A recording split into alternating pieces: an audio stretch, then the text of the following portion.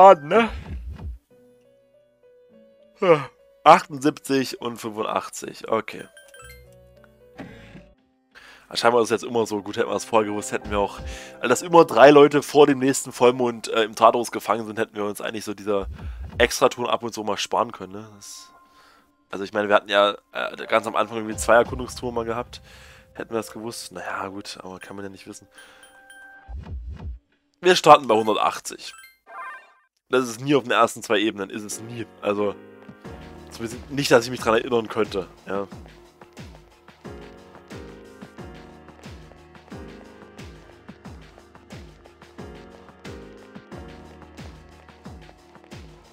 So. Treppe nach oben, los geht's. Man bleibt irgendwie immer so ein bisschen hängen da unten am Treppenabsatz hier. So. Bitte aufteilen.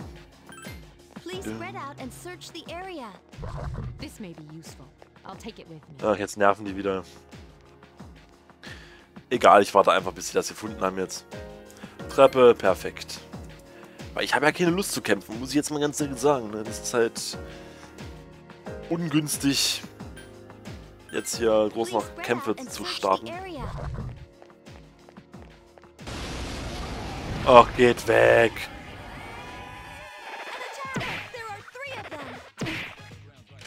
Die nicht wegrennen? Also ich meine... Faktisch haben wir doch fast keine Chance, oder? Alle zu mir. Please, regroup. Regroup with the Pleugen, please. Bitte, Kaiserrüstung, okay. Was ist das denn Schönes? Kaiserrüstung, die schlecht ist. 108. Ja, wir haben jetzt nur Frauen in der Gruppe. Ich weiß jetzt nicht, ob die das anziehen können, rein vom Prinzip her. Aber Kaiserrüstung theoretisch ja, aber also die anderen Sachen hier, Kampftrikot und so, sind einfach viel besser. Aber wie sieht es jetzt aus mit Mitsuru hat ja auch das Maid-Outfit an. Aegis Made-Outfit ist einfach besser. Das müssen wir uns jetzt hier nicht geben, oder? Aufspalten. Ah ne, hier... Oh, da war schon. Gut, sehr gut. So gefällt mir das doch, ne? Wenn wir es jetzt gleich direkt vor unserem Auge haben. Ne? Auf dieser Ebene gibt es keinen einzelnen Gegner. Ich habe bei der Sache ein mieses Gefühl. Ich nicht. Warum? Dann ist das halt so. Ist doch schön. Meine leere Ebene. Pater-Juwel. Ja, oder der Tod kommt gleich, das kann auch sein, ne? Nach oben. Also, einfach nach oben. Sehr schön. Dann suchen wir den mal. Da, ach, da ist er schon. Gebückte Frau oder so. Ah, uh. So, das war's. Haben und das auch. So, und wir verbissen uns. Ja. Das war's. Schön. Oh, zweiter Mittwoch. Dann ist es soweit. Heute ist keine Schule, aber natürlich ruft mich jemand an. Es ist Nozomi. Nein. Ah, ha hallo, ähm, hier ist Shihiro. Äh, ähm, können wir uns kurz unterhalten? Na klar, warum nicht? Möchtest, wenn du nichts vorhast, möchtest du heute irgendwas unternehmen? Ja, warum nicht? Also, immer ran damit. Ich meine, meistens in dieser Aktivitäten, wenn die uns persönlich anrufen, äh, meistens sicher ein Level up, weißt du? Wirklich, das ist großartig. Chiro ist begeistert. So, früher Morgentag. Paulina Einkaufszentrum. Tut mir leid, dass du den ganzen Weg hierher kommen musstest. Chiro entschuldigt sich bei dir. Das ist das erste Mal, dass ich einen Mann zum Date einlade. Chiro schaut weg. Um ehrlich zu sein, war ich etwas besorgt. Ich dachte die ganze Zeit, was, wenn Pleugensan nicht auftaucht? Ja, mach dir nicht so viele Sorgen. Ich hatte keine Wahl. Es hat keine andere Zeit gehabt, verstehst du? Nein, ich halte meine Versprechen. Ich bin ein ehrenvoller Psychopath, verstehst du? Ja, ich auch. Es ist schlimmes Vergehen, ein Versprechen zu brechen. Haha. Tja, da könnten sich manche Leute noch eine Scheibe von abschneiden, ne? Ja, tut mir leid, ich wollte dich nicht beleidigen. Hast du aber, ich bin voll beleidigt, ich breche jetzt den Kontakt ab. Bindung ist vorbei. Du hast heute etwas Neues über sie erfahren. Achso, du hast etwas Neues über sie erfahren. Was denn? Sie mag das nicht, wenn Leute zu spät kommen. Das sollte man eigentlich im besten Fall. Soll das bei jedem so sein. Also, zu spät kommen ist echt scheiße. Aber, naja, gut, Pünktlichkeit ist nicht mehr so das oberste Gebot, sagen wir so. Wir schenken ihr irgendwas. Was denn? Blumen haben wir nicht, Klamotten haben wir nicht. Antiquität habe ich nicht, was anderes. Ja, komm, kriegst einen Glücksbringer. Oh, äh, ist das für mich? Äh, das ist ja ekelhaft. Ähm, ähm, ich, ich. Oh Gott, so was schenkt er mir. Äh, danke. Der Gedanke zählt. Wow, undankbar. Scheint das Geschenk nicht besonders. Was haben die denn gegen den Glücksbringer? Das ist doch was Schönes eigentlich. Oder Anhänger, was auch immer. Das ist. Das hätte ich dir hätte ich ein Tarotkarten-Set schenken sollen oder irgendwas. Bald haben wir Vollmond. Noch sind keine Schatten erschienen, aber ich traue der Sache nicht. Oh, da fällt mir ein. Ryoji-kun ist wieder zu Besuch, er ist bei Junpei. Äh, schon wieder. Junpei ist immer noch äh, ziemlich niedergeschlagen. Er ist auch krass, dass er jetzt immer bei Junpei abhängt, ne? Vielleicht, wenn das ja wirklich Faust ist, versucht er jetzt irgendwie Junpei zu beeinflussen oder so. Äh, ein guter Freund von Ryoji-kun ist da eine große Stütze. Naja, wer weiß. Manipulator wahrscheinlich. Pass auf zu bloggen, wirft seinen ganzen Müll in Form von Geschenken raus, ja klar. naja, weißt du, er versucht halt wenigstens. In all seiner Psychopathie ist er vielleicht irgendwo tief in ihm drin, so der Wunsch, auch Leute mal so ein bisschen glücklich zu machen. Vielleicht nur so ein bisschen. Heute ist Sonntag, das heißt, wir können wieder mit dem Psychomönch abhängen.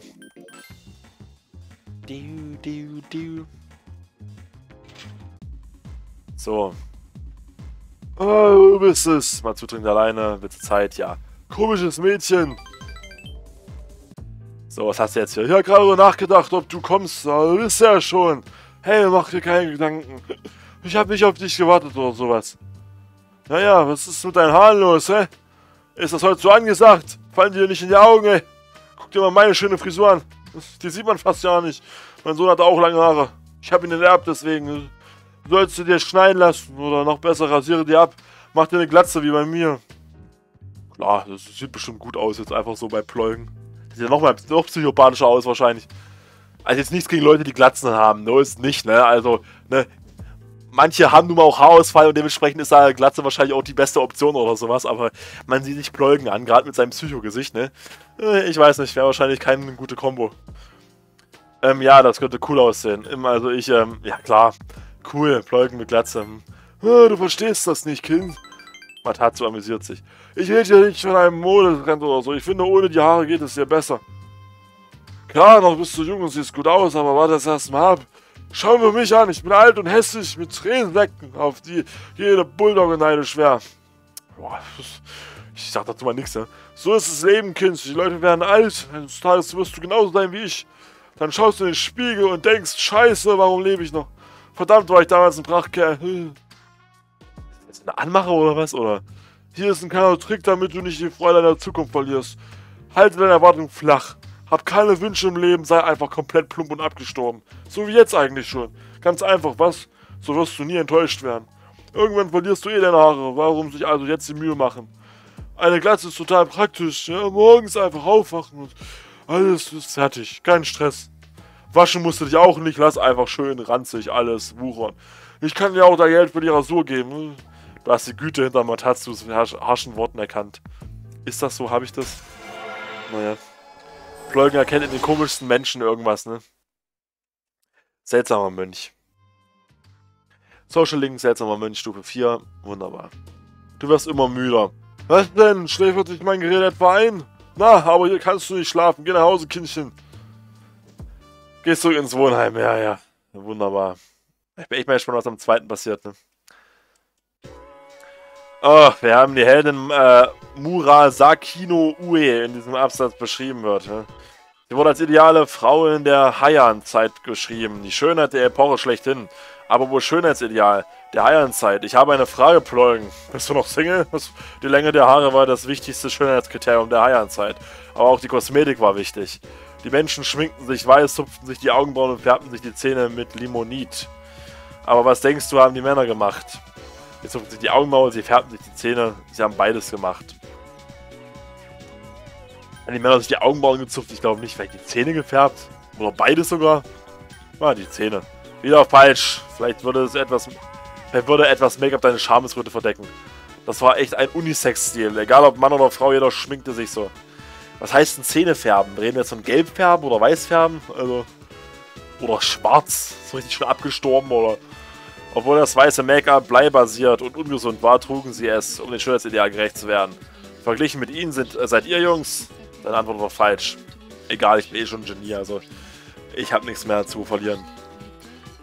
Je suis le petit, la popo, la fromage. Oh, wir können mit niemandem abhängen. Aber wir können mal wieder ins Schülersprecherzimmer gehen eigentlich, oder?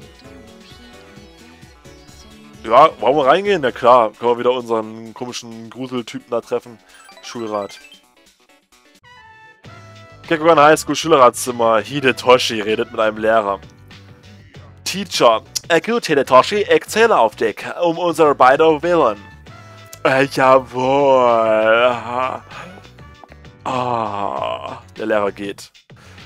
Oh, oh, Pleugensan. Hey, was meint er mit um unseren beider, unser beider Willen? Wovon redet er? Das Mitglied des Schülerrats drängt Hidetoshi auf eine Antwort. Ach, äh, er will nur einen besseren Umgang, eine, eine bessere Umgebung hier schaffen. Also hat er einen Musterschüler um Hilfe gebeten, also mich, ich bin geil. Ja, ah, so wie die Präsidentin Pleugenkun gebeten hat, den Schülerrat beizutreten. Was? Du kannst sowas doch nicht ohne die Erlaubnis der Präsidentin entscheiden. Das Mitglied des Schülerrats schaut Hidetoshi böse an. Hör auf zu streiten. Nee, als Pleugen würde er sagen, macht weiter, ne? Was ist passiert? Jemand hat einen Zigarettenstummel auf der jungen Toilette entdeckt. Oh Gott. Ich glaube, die Schule muss geschlossen werden. Das war's. Das war's. Also, Present. Schlimmer geht's nicht mehr. Und der Lehrer will, dass wir den Übeltäter finden. Chihiro flüstert. Ah, oh, jemand hat die Regeln gebrochen und wir müssen den Schuldigen finden und exekutieren. Das ist unsere Pflicht, oder? Ja, du hast die Wahl. Entweder hilfst du mit oder erweist dich als vertrauenswürdig oder du machst dich verdächtig. Toller Job, ja. Wir müssen uns hier mit einer Menge Quatsch herumschlagen. Was, Pluggenkun? Hidetoshi schaut auf dich. Scheint auf dich zu zählen, warum auch immer. Warum hängen wir mit solchen Leuten ab? Hidetoshi. Ist auch wieder ein sehr zweifelhafter Charakter? Social Link Stufe 3. Entschuldige mich. Ich bin mal weg, okay? Oh. Hey, ignoriere mich nicht, du Lehrerliebling, du, du Arschbacke, du. Das Mitglied des Schülerrats läuft auf Hidetoshi hinterher und schlägt ihm eine rein. Ist es nicht gut, wenn sich Mitglieder des Schülerrats so streiten, oder?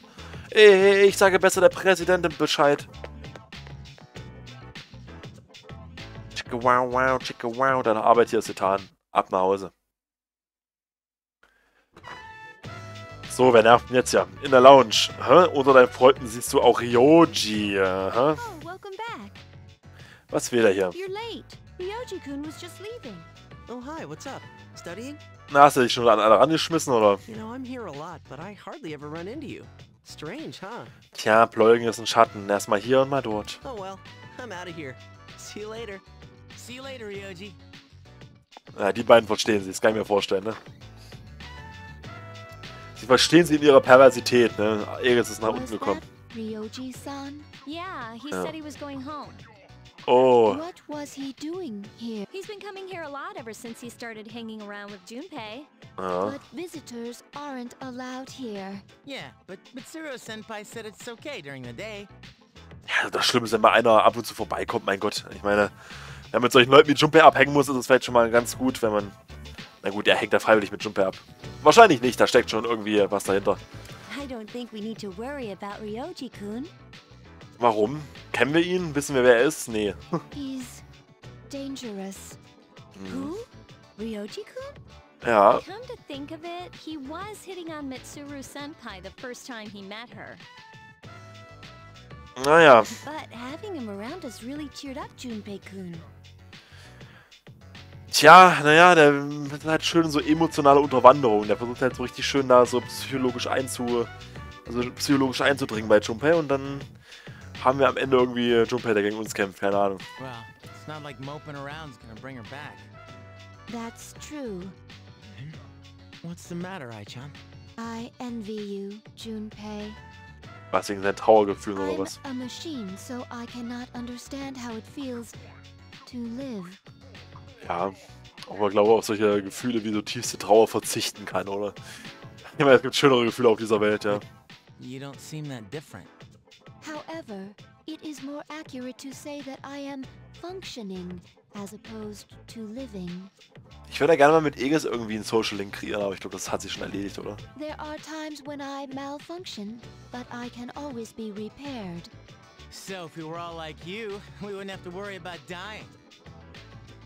Uh, sorry. Hey, I don't have time to talk. I seriously gotta go study. Was? Du und Lernen? Hey, shouldn't you guys be studying too? I heard math's gonna be a killer. Ja, vielleicht ist er doch ein guter Einfluss, ne? You wait until now to tell us that? Well, I guess we should call it a night then. Äh, du hättest doch selbst lernen können, Yukari. Ich meine, wenn du dich auf Junpei verlässt, dann hast du schon echt ein Problem, glaube ich, oder? Deine Freunde sind auf ihr Zimmer gegangen. I should not possess the gift of life. Ah, jetzt erwacht Aegis, oder was, ne? However, I believe I understand the concept of loss. Jetzt passiert's. Present, es geschieht. Aegis erwacht. Der Persona. Pleugen, San. Should you ever be harmed, I Sorge dich nicht um mich. Überanalysieren schadet nur. Ja klar, oh, komm. Sorge dich nicht um mich. I'll try not to. You are very special to me. Das freut mich. Das höre ich doch gerne. I do not know why, but I always want to be by your side. Ja, das weiß niemand genau, warum gerade alle bei Pleugen abhängen wollen. Das ist halt ein Mysterium, was nicht gelöst werden kann, glaube ich, oder? I want to protect you. I apologize for interrupting you. Nee, nee, alles I gut. will leave you to your studies. Good night. Ach, schade. Ich dachte ja, oh, doch, jetzt kommt was noch, oder? Ryoji Mojisuki is dangerous. Mhm. What is this uneasiness? Tja, der Leberfleck verrät alles unter dem Auge, ne? I am a machine. I cannot die, so they won't have to grieve for me. Oh. I must do something. I don't want them to suffer anymore. Das war eine Selbstzerstörung oder was? Nein. Was? Jetzt mach keinen Unsinn. Also, nee, komm. Bitte nicht, Aegis. Ey, wisst ihr, wir, wir brauchen dich. Ich habe jetzt extra nicht gelevelt, Mensch. Mach keinen Scheiß. Heute ist Montag, ich glaube, jetzt können wir nicht mit dem Mönch abhängen. Toll, ey, wenn die jetzt abhaut, das wäre ungünstig. Wirklich sehr, sehr ungünstig. Ja, nichts zu machen. Gehen wir einfach pennen, würde ich sagen. Geld haben wir genug, also das brauchen wir auch nicht. Di, di, di. Nochmal speichern. Ich habe gerade jetzt beides. Ist wirklich gar nichts passiert in der Zwischenzeit, vor einer Minute. Ja gut, gehen wir auf mein Zimmer und dann legen wir uns schlafen. Gut schlafen gehen? Yes. Ja, ja scheiße ey, wenn die jetzt weg ist. Yukari? Oh, oh Pleugensan. Ah, ha, ha, hallo, ich ähm, habe nachgedacht.